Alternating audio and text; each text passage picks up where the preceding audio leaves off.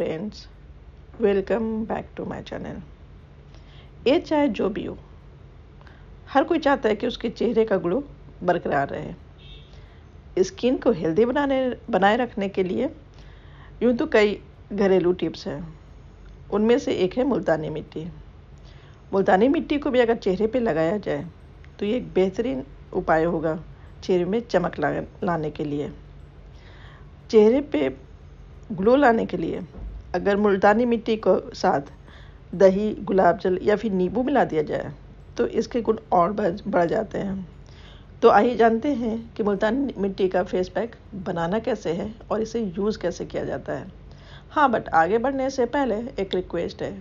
अगर आप मेरे चैनल पे न्यू हैं तो मेरे चैनल को सब्सक्राइब कर दें एंड बेल आइकन को क्लिक कर दें सो डेट आपको मेरे लेटेस्ट वीडियो के नोटिफिकेशन मिल जाए। और अगर वीडियो अच्छी लगे तो लाइक कर दें। और हाँ कमेंट्स में अपने सुझाव देना, बिल्कुल भी ना भूलें। ओके, चलिए, स्टार्ट करते हैं। मुल्तानी मिट्टी के फेस पैक बनाने के लिए मुल्तानी मिट्टी अराउंड दो चम्मच चाहिए, गुलाब जल चाहिए, पेस्ट तैयार करने लायक गुलाब जल चाहिए, और एक बड़ा चम्मच दही चाहिए, और नींबू का रस चाहिए।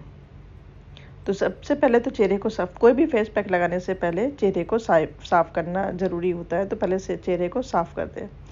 अंदर मुल्तानी मिट्टी, गुलाब जल, दही नींबू का रस इन सबको मिलाकर एक पेस्ट तैयार करें और इस पेस्ट को अपने फेस पे अप्लाई करें।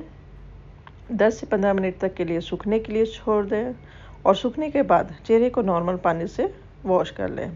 हाँ चेहरे को वॉश करने के बाद चेहरे पर मॉइस्चराइज़र ज़रूर लगाएँ। तो इससे चेहरे पे ग्लो आएगा और चेहरे की डेली स्किन सेल्स रिमूव होती है और अगर चेहरे में एक्स्ट्रा ऑयल है तो वो भी चले, वो भी ठीक हो जाते हैं। ओके फ्रेंड्स इस वीडियो में बस इतना ही। नेक्स्ट वीडियो में हाजिर होंगे कुछ नए टिप्स के साथ। तब तक के लिए बाय बाय टेक केयर